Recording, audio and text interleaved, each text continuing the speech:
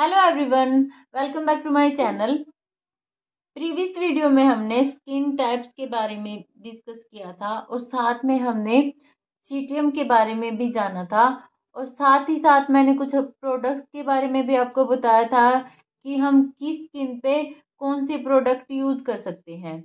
और साथ में मैंने ये बताया था कि मैं आपको सीटीएम का जो प्रोसेस होता है वो करके दिखाऊँगी कि किस तरीके से हमें सी करना होता है। तो ये जो प्रोसेस है, हमें मेकअप करने से पहले करना है। अगर हम कोई भी मेकअप कर रहे हैं पार्टी मेकअप हो गेस्ट मेकअप हो या फिर ब्राइडल मेकअप हो तो जो ये प्रोसेस है सी टी एम ये बहुत ही ज़्यादा इम्पोर्टेंट होता है। इसको करना बहुत ही ज़रूरी होता है। तभी जो हमारा मेकअप है, वो लॉन्ग लास्टिंग और फ्लॉलेस दिखेगा। सीटीएम प्रोसेस शुरू करने से पहले आपके साथ मैं कुछ प्रोडक्ट शेयर करने वाली हूँ जो कि बहुत ही ज़्यादा इफ़ेक्टिव है हमारे सीटीएम प्रोसेस को आ, करने के लिए। उसको जब हम करेंगे इन प्रोडक्ट्स के साथ तो रिज़ल्ट बहुत ही ज़्यादा अच्छा होगा। अगर आप पार्लर में कर रहे हैं तो इस तरीके के प्रोडक्ट ज़रूर ख़रीदें। अगर आप घर पे कर रहे हैं तो आप सिंपल नॉर्मल कोई भी प्रोडक्ट यूज़ कर सकते हैं। उनका नेम भी मैं आपको बता दूँगी कि कौन से पार्लर में यूज़ कर सकते हैं और कौन से प्रोडक्ट घर में यूज़ कर सकते हैं? तो जैसे ये है हमारा लोटस का क्लिनजिंग मिल्क है। और ये एलोवेरा जेल में है ये। ये हमारा टोनर है, जो कि ये स्पेशल ड्राई स्किन के लिए ही होता है। और लोटस का है रोज़ टोन ये रोज़ वाटर ही है और ये भी टोनर है। ये वाव ब्रांड के हैं। इसमें सभी चीज़ें मिल जाएँगी आपको। क्लिनजिंग मिल्क भी मिलेगा और टोनर भी मिलेगा फेस वॉश भी मिलेगा फेस क्रीम भी मिल जाएगी। सभी चीज़ें आप एक ही ब्रांड की इसमें ले सकते हैं। और साथ ही साथ आप ये बायोड्रिमा का है क्लिनजिंग मिल्क फेसियल को अब जब हम रिमूव करते हैं तो भी ये काम आते हैं और सीटीएम प्रोसेस का जो स्टार्टिंग का जो हमारा पार्ट होता है क्लिनजिंग उसमें भी हम ये यूज़ करते हैं। और ये रोज़ वाटर है, टोनर के लिए, ब्लू हेवन में, ये लाइफ लाइन का टोनर है, जो कि सभी स्किन के लिए है, चाहे कैसी भी स्किन हो उसके लिए ये यूज़ होता है। और गुड वाइब्स का टोनर है क्लिनजिंग हिमालय का है cleansing milk Lakme cleansing milk है, जोए का है रोज़ वाटर, जो कि हम फेस टोनर के लिए यूज़ करते हैं। ममाज अर्थ है, ये सभी स्किन के लिए होता है। और ये देखिए, यहाँ पे लिखा भी हुआ है कि ये ऑल स्किन के लिए है। तो ये ये मेन मेन से प्रोडक्ट हैं। अगर आप पार्लर चला रहे हैं तो इस तरीके के प्रोडक्ट ज़रूर ख़रीदें। और अगर आप घर पे करें, कर रहे हैं तो एक सिंपल आप क्लिनजिंग मिल्क ले सकते हैं किसी भी ब्रांड का और आप टोनिंग आप रोज वाटर से कर सकते हैं। टोनिंग रोज वाटर से हो जाएगी और जो लास्ट वाला है मॉइस्चराइजिंग वो आप कोई भी मॉइस्चराइज़र ले सकते हैं जैसे पॉन्ड्स का निविया का या फिर लैक्मे का या इससे भी आ, कम रेट में मिलते हैं हमें तो वो भी आप परचेज कर सकते हैं घर पे।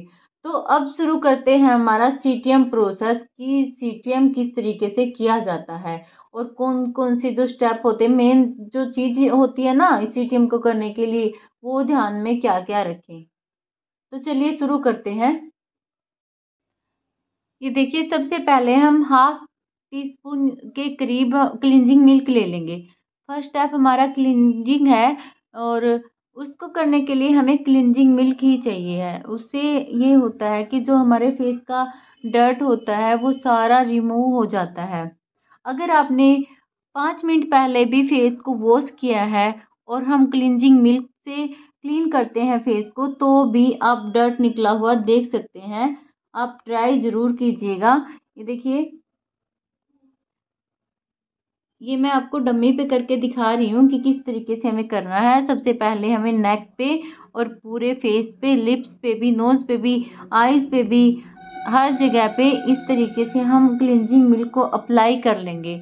ये आ, कोई भी साइड इफ़ेक्ट नहीं करता है। जिस तरीके से हम ब्लीच को फेस पे अप्लाई नहीं कर सकते यहाँ पे आईब्रोज पे नहीं कर सकते और लिप्स पे नहीं कर सकते, आईज पे नहीं कर सकते ब्लीच को, उस लेकिन क्लिनजिंग मिल्क हम पूरे फेस पे अप्लाई कर सकते हैं। अच्छे से अप्लाई करने के बाद जो फेसियल वाले स्टेप होते हैं, नॉर्मल से स्टेप, वो हम करेंगे। ठीक है, वन बाय वन करके ऐसे फेस को अच्छे से रब कर देना है, ज़्यादा हार्ड हमें हैंड नहीं यूज़ करने हैं और इस तरीके से आईज के नीचे, आईज के ऊपर इस तरीके से हम हर एक पार्ट पे मसाज करेंगे। सिर्फ़ दो या तीन मिनट ही हमें अच्छे से इसके मसाज कर देनी है फेस की। ये स्टेप थोड़ा सा अच्छे से नहीं हो रहे हैं। अगर हम फेस पे करते हैं, क्योंकि फेस तो हमारा सेट ही होता है तो और भी इफ़ेक्टिवली हमारा ये मसाज बनेगा।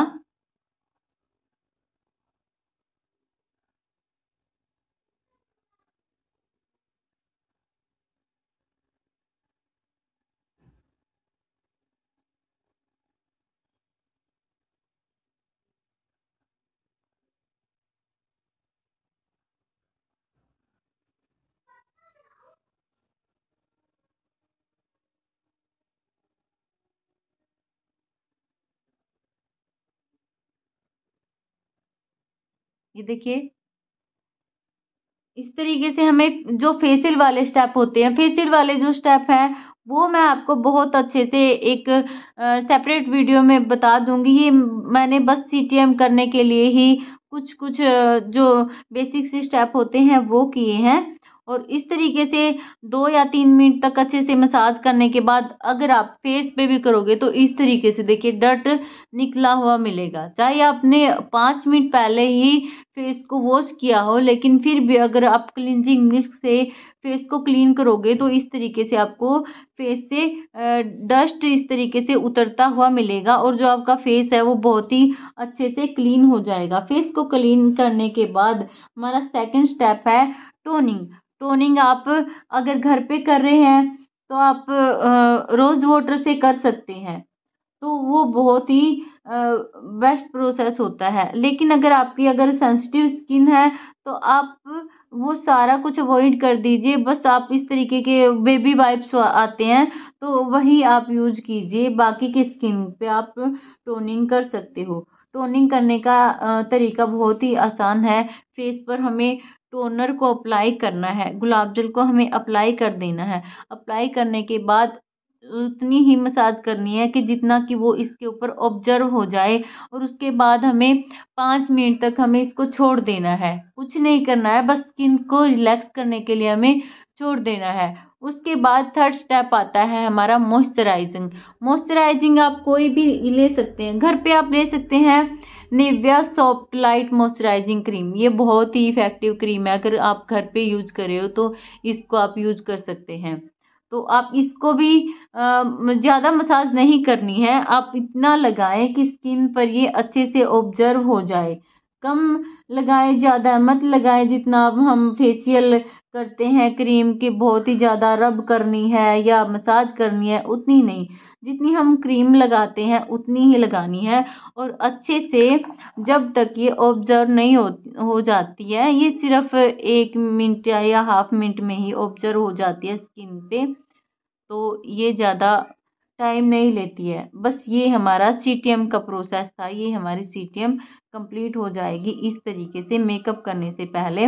और जब आप सी टी एम कर लो तो आ, आ, कम से कम टेन मिनट का टाइम ज़रूर दीजिए स्किन को रेस्ट करने के लिए। यानी कि आप सी टी एम करने के बाद टेन मिनट तक उसको स्किन को छोड़ दीजिए। उसके बाद ही मेकअप कीजिए। आपका मेकअप बहुत ही फ्लॉलेस और ग्लोइंग दिखेगा।